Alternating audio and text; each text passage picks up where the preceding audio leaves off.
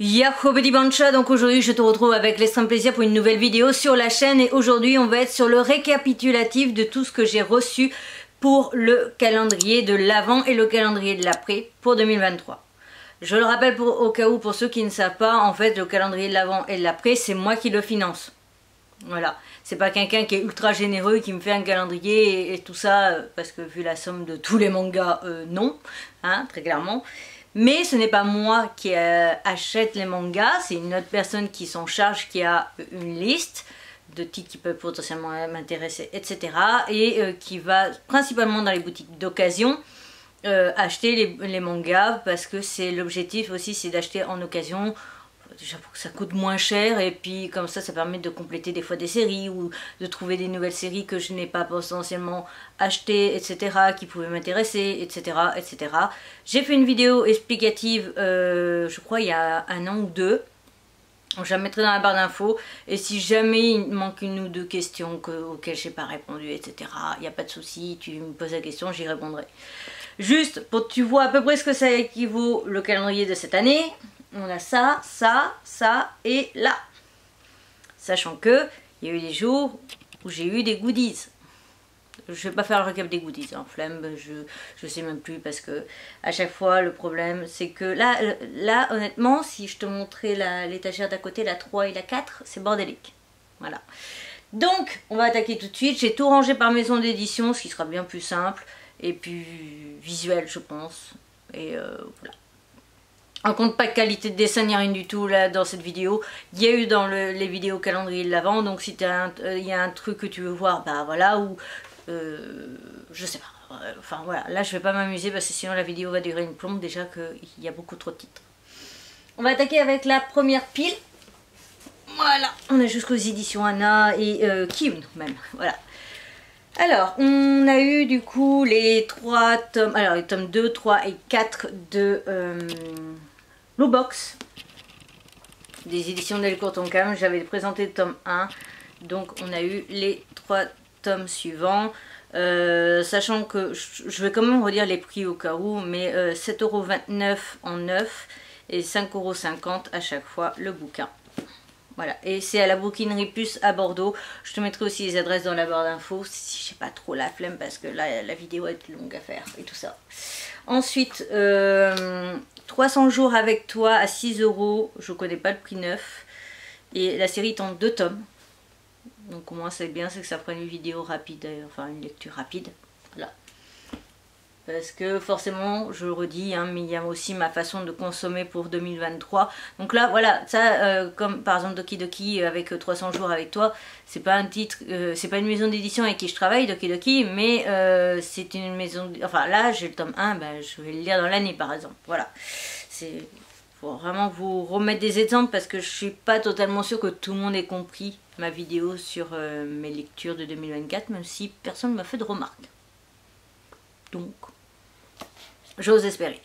Euh, 5,50€, pareil, j'ai pas le prix neuf, euh, à Boukoff, du coup, à, Paris. Une touche de bleu, le tome 3, je ne sais même pas où en est la série actuellement, ni rien du tout. Mais au moins j'ai le tome 3. Voilà, je dois avoir 1 et 2, je suppose, vu que j'ai le 3. Et euh, c'est cool parce que ça permet d'avancer la série. Hmm. Ensuite, le tome 6 de Hachin. Les éditions Glénat. Pareil, ça, c'est une série que je dois lire et à chaque fois, bah, comme elle est trop longue, bah, j'abandonne à chaque fois dès que je relis les tomes 1 et 2. C'est comme Jagan. Voilà. Euh, 5,90€ en occasion. Voilà, s'il y a quelqu'un qui est motivé aussi à faire le, la différence des prix entre ce qui aurait... Ouais, non, parce que ça fait très... Euh, ça peut être très toxique en fait comme euh, recherche de savoir combien j'ai payé et combien j'aurais dû payer si j'avais acheté ça en neuf. Mais ça peut être aussi intéressant de se dire waouh, en fait, il a acheté tout ça en. Enfin, c'est pas moi. C'est mon argent, mais c'est pas moi directement qui ai acheté. Mais ça peut être intéressant de se dire quand même euh, avec l'occasion combien j'ai économisé. Voilà, si quelqu'un a la foi. 4 euh, euros à Bukov, le tome 2 et 3 de Sakamoto D. Parce que je sais que j'avais fait la bêtise d'acheter plus loin parce que je ne savais plus où j'en étais et que euh, il y avait un goodies. Enfin voilà. Donc je crois que je dois avoir 4 et 5 donc euh, c'est cool. Donc moi j'ai 5 premiers et donc je me dis que ça je vais pouvoir le lire pour une vidéo Halloween. Pareil, euh, ça c'est... Ça c'est un hurlement dans les bois, voilà. Oui, je suis fatiguée par contre. Ensuite, L'échappée belle, un voyage autour du monde. Je crois qu'il est en deux tomes, je suis pas sûre. Et euh, donc 5,20€ au lieu de 7,95€ vu que c'est un Anna. Donc voilà, ça je l'ai euh, demandé du coup dans les occasions parce que tout simplement c'est un titre qui euh, que j'avais vu du coup pour la Japan Expo Sud et bah, j'ai hésité. Donc du coup je savais pas trop si j'allais aimer ou pas donc j'ai préféré le demander dans ma mon calendrier l'avant plutôt que de le demander à Anna. Ensuite à 6 euros, ça je suis pas sûre que c'était une super bonne affaire mais c'est pas grave, au moins j'ai les deux premiers tomes. Euh, parce que tout simplement j'avais acheté il y avait le tome 1 en collector et tout à l'époque. Euh, et puis en fait un youtubeur a dit que c'était en train de se casser la gueule au niveau du scénario et que ça allait s'arrêter. Et puis en fait j'ai vu que ça continuait. Donc euh, j'étais mais euh, donc bon, j'ai redemandé les tomes 1 et 2, on verra ce que ça vaut, je lirai, enfin j'achèterai après ça, puis au fur et à mesure, et euh, on verra bien. Je pense qu'à chaque fois qu'une pile est finie, je l'enlèverai, comme ça tu verras aussi, tu pourras visuellement voir où on en est. Et alors lui, je sais, on n'a pas su. On l'a retrouvé euh, dans cette pièce, posé par terre. Bon, c'est pas grave, hein, c'est ok. Euh, c'est pas posé, posé à même le sol, il y a un petit truc dessous et tout ça. Mais je ne me rappelle pas, en fait. Euh, faut dire qu'il y avait des fois où j'avais pas forcément bien dormi. Mais je me rappelle pas, en fait, si je voulais présenter ou pas. Et pourtant, on m'a dit que c'était. Et pourtant, on m'a dit que c'était du coup dans mon calendrier. Donc, je sais plus. C'est par le carnet de l'apothicaire par l'auteur de carnet l'apothicaire de, de Kiyun, du coup, euh, parce qu'il y a l'autocollant. Donc voilà, je... Alors pardon, c'est Kamisama School. Voilà. Écoutez, il y a eu potentiellement un loupé, j'ai dû l'attraper, euh, le poser et oublier de le présenter quand j'ai sorti des, à chaque fois des trucs, des fois des, pochons. Il y a des, des trucs comme ça. L'autre jour, j'ai retrouvé je suis vraiment en train de fatiguer. En plus, il doit être 18h, un truc comme ça. L'autre jour, j'ai retrouvé trois mangas de sport bah, que je devais présenter l'an dernier. Genre, je crois que c'est en mars, la journée internationale du sport. Ils sont là. Donc, euh, du coup, euh, prochainement, je vais filmer la vidéo en ayant lu les titres il y a un an. Voilà Bref, donc euh, Camille School, c'est un shoujo des éditions Kiyun et par l'auteur de, des carnets d'apothicaire, ça, ça peut potentiellement en motiver certains. Après, ce qui va être sympa, c'est de faire le rangement. Et d'ailleurs, je ne sais pas si ça peut vous intéresser ou pas, je le dis parce que de toute façon, la vidéo sera très vite postée après euh, être filmée. Est-ce que ça vous intéresse que je me filme en train de ranger tout ça? Ou est-ce que je fais un live Twitch? Et euh, que je range avec vous, etc. Voilà, potentiellement. Et euh, euh, si live Twitch, rediffusion sur YouTube. Ça va de soi. Mais euh, voilà, parce qu'il y a... Je, ne sais pas si j'ose en fait vous montrer le bordel que ça a fait. Si, allez. Voilà, on en est là et on en est là. Sachant que je ne sais pas si vous le voyez. vous voyez les... vous voyez là les hiboux ici? Après là, il y a une perruque blonde.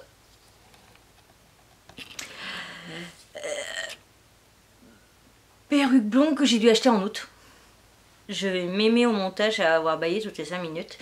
Donc, euh, je disais, oui, euh, il y a une perruque blonde. Je l'ai achetée, je crois, en août ou septembre.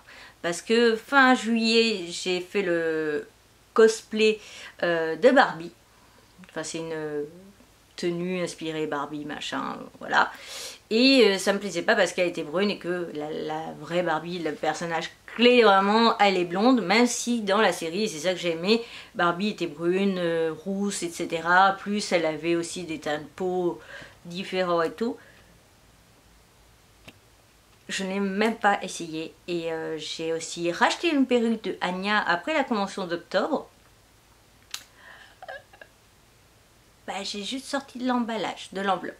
Je ne l'ai pas essayé, je ne l'ai pas custom, je n'ai pas essayé avec les cornes, alors que les cornes sont super canons. Voilà, je me suis laissé un petit peu déborder, j'avoue. Mais cette année là, 2024, je peux pas. Je peux vraiment pas me le permettre parce qu'il va y avoir des trucs à côté de YouTube et je peux pas me permettre de me laisser déborder. Vraiment pas. D'ailleurs, avant le 1er janvier, cette pièce-là, elle sera clean de ouf. Parce que c'est aussi le bordel avec toutes les ouvertures et tout ça. Donc, il y a eu les tomes 2, 3, 4, 5, 6 de la série Jagan. Voilà, des éditions casées.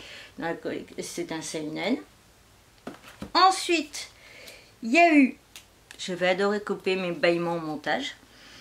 Angolmoy euh, des éditions Meian parce que c'était un titre où j'ai toujours hésité et je me suis dit pourquoi pas donc le tome 1 de Angolmoy. Du coup, j'ai oublié de dire les titres, les prix, pardon. Oula. Euh, du coup, Kamisama, je crois qu'il était en 9. Et là, ils étaient à 4. Euh, donc, le tome 2 est à 5,99€ au lieu de 7,59€ apparemment. Euh, bah, le tome 3, il n'y a pas l'autocollant. Tout va bien. Le tome 4, 5,99€ au lieu de 7,59€.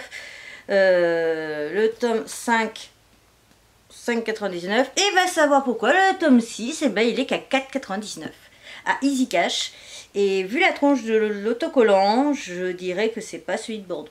Voilà. De toute façon Easy Cash à Bordeaux il n'y en a pas vraiment parce que c'est Cash Converter ou Cash Express dans Bordeaux même. Et Easy Cash sinon le seul que je connais il est à Sainte-Eulalie et je refuse d'acheter quoi que ce soit. Et mes parents savent aussi mon Nico, tout, tout, tout, autour de moi, tout le monde sait que je refuse d'acheter à Easy Cash de Sainte-Eulalie parce que pour moi c'est des gros arnaqueurs et des gros... C-O-N. Donc là c'est cash converteur, 3,99€. Euh, en Ensuite, encore chez Meian, on a eu... Euh, alors, My Wife Has Not Emotion. C'est en gros une relation entre un humain et un robot, donc il était à 6,95 et il n'y a pas le prix d'occasion. Je vois bien que c'était une occasion, mais j'en sais pas plus. Bref. Ce titre-là. Je pense que je ferai un bilan lecture spécial Meian ou un truc comme ça. Le tome 3 de My euh, Elder Sister, donc des éditions Meian à 5 euros au lieu de 6,95. Ça fait presque 2 euros d'économie, c'est toujours ça. Ce mine de rien, si on achète une trentaine de mangas, en admettant parce qu'il y, avait 31 jours, euh, avec 2 euros d'économie par manga, ça fait déjà 60 euros. Hmm. Bref, euh, donc ça, j'avais mis la suite de la série dans la liste parce que tout simplement, euh, j'ai peur de ne pas arriver à être capable de continuer la série parce que il y a quand même des scènes assez osées au niveau des, personnages et le personnage masculin, si je dis pas de bêtises, est quand même mineur. Donc j'ai un petit peu du mal avec ça. Attends, je décale un petit peu parce que sinon on voit plus la lumière qu'on m'a offert. Bref, on continue avec les éditions Michel Lafon, euh, avec le manga Nina euh, du Royaume aux étoiles. Donc ça, j'ai su qu'il y aurait une adaptation animée si je dis pas de bêtises. Donc c'est plutôt cool. Voilà. J'ai eu un doute dans mes achats, mais non, mes achats c'est euh, le truc aux champignons. Je crois que c'est aussi de... Non, c'est de Glénat. Euh, donc, le manga, les fées du roi dragon et moi en chat. Voilà. Euh, donc, euh, de la bouquinerie plus à Bordeaux. Alors après, laquelle bouquinerie plus Aucune idée, parce qu'il y en a deux dans Bordeaux, principalement dans, dans Bordeaux même. Et d'ailleurs, je ne suis pas encore allée voir les autres. Mais toujours est-il, donc voilà. 4,70€ au lieu de 7,20€. Pile numéro 3 avec euh, les éditions Pika, Soleil et Taifu. Donc chez Pika, j'ai eu le tome 2 de To You Eternity. Il va falloir que je trouve la suite quand même parce que ça a beaucoup beaucoup avancé. 4,50€. Ensuite à 5,50€ à Bukov. Euh, oui là c'est 4,50€ euh, comme ça, c'est Cash Express. Ok, bon. Euh, 5,50€ du coup à Book of euh, Region of the Seven Split Blade. au lieu de 7,20€. Le tome 1, d'ailleurs ça j'ai oublié de vous le montrer dans les achats, mais j'ai acheté le tome 2 en fait de Le Roi Démon et moi et nos 10 enfants, parce que en fait je l'ai eu dans le calendrier. Et euh, bah, après je partais 3 jours sur Bordeaux et sur ces 3 jours là j'ai aidé Cash Express au rangement du rayon manga. Et du coup j'ai vu qu'ils avaient le tome 2, donc j'ai pris le tome 2. Donc 5 euh, euros oui, là c'était du coup à hum, Gilbert Joseph, 5,40€ au lieu de 7,20€. Ça doit être celui de Paris, je suppose, parce que Toulouse, j'y suis allée que tout seul. Euh, ensuite, How I Married and Amagami Sister donc je crois que si je dis pas de bêtises, alors c'est à 7,20€ et donc c'est à 9 je pense. Euh, non, je croyais que c'était du même auteur que les quintuplés, mais non. Mais c'est euh, en gros, je crois, le même principe que les quintuplés, sauf qu'elles sont 3. Voilà.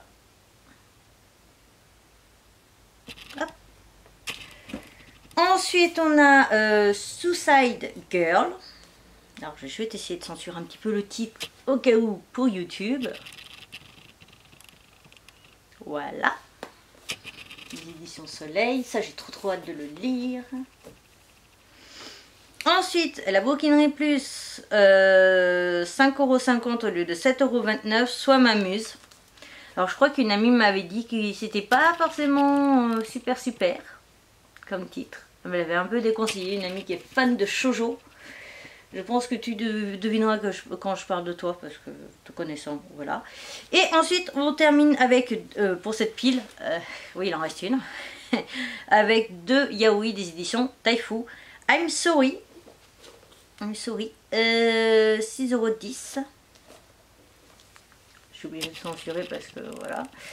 Euh, donc, c'est, je l'ai vu, ce prosti, voilà, phrase d'accroche, c'est ça. Ensuite, euh, non, j'allais dire en 9, non, 6,10€ aussi à Gilbert Joseph, euh, Toshiro et un peu. Et je crois que le tome 2 est sur le point de sortir ou un truc comme ça. Je te mettrai l'information à côté de moi. Mais il me semble avoir vu une info dans le genre. Et on attaque enfin la dernière pile, même si en fait, il y en avait à là. Sinon ça rentrait pas. Euh, donc, chez les éditions Panini. Il y a eu pas mal de titres. J'ai eu l'intégralité de euh, Sky High. Du coup, des éditions Panini. C'est un manga en deux tomes. Et euh, si je dis pas de bêtises, c'est par l'auteur donc de Shido. Voilà. Donc au prix de 6,25€ au lieu de 8,29€.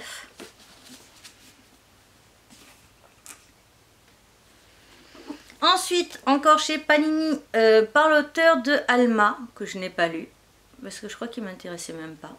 Bref, euh, 5,40€ au lieu de 8,29€. Euh, J'ai les deux premiers tomes et je crois que la série est en 4, un truc comme ça. Voilà. Avec des couvertures juste dingues. Donc après, je peux comprendre que ce soit 8,29€, mais bon, après, est-ce qu'on préfère payer et avoir des jaquettes comme ça de malade ou avoir un manga moins cher et à pas avoir une jaquette comme ça aussi euh, dinguissime? Telle est la question. Voilà. Ensuite, on continue et termine avec Panini avec le tome 10, 11, 12 et 14. D'ailleurs, je vous les ai même pas spécialement montré dans la vidéo calendrier de l'après. Voilà. Alors, j'avais déjà le 13 et j'ai 15 et 16. Je précise parce que comme j'ai pas le 13 là. Voilà. On continue avec le tome 2 et le tome 3 du manga Le Tigre des Neiges, qui est une série, si je dis pas de bêtises, terminée en 10 tomes. Les mangas sont au prix de 10 euros et je les ai payés tous les deux 9 euros. C'est pas la même étiquette. Donc ça n'a pas été acheté au même endroit, mais c'était le même prix. Et pour terminer, le Hen Manga de ce calendrier, l'avant et de l'après. à 13,99€, il a été acheté en neuf. du coup, The Pink Album. Voilà. Voilà, voilà. Donc ça, j'essaierai d'en parler assez rapidement. Je pense même que vu que Pink et tout ça, je vais peut-être le garder pour février, pour la partie Saint-Valentin. Cette vidéo du coup récapitulative des mangas que j'ai eu lors du calendrier l'avant et du calendrier l'après est à présent terminée. J'espère de tout mon cœur que cette petite vidéo, enfin très longue vidéo, t'aura plu quand même et t'aura fait découvrir des titres que tu ne connaissais peut-être pas. N'hésite pas à me dire quels sont les titres toi qui t'ont le plus intéressé et qui où tu m'attendrais potentiellement sur un retour. Euh, je te mets donc ma précédente vidéo ici, je te mets une autre vidéo en recommandation, enfin tu connais la chanson et tout ça. Je te retrouve bientôt pour une nouvelle aventure, je te retrouve très vite pour une nouvelle vidéo et j'en profite aussi pour le placer au cas où, mais euh, je compte bien faire des vidéos top et flop de l'année 2023 au niveau des mangas, mais elles sortiront en fin, fin, fin de mois parce que j'aurai pas le temps avant. Voilà, ce sera sûrement les vidéos qui sortiront pendant le potentiellement festival de la BD. Voilà. Bye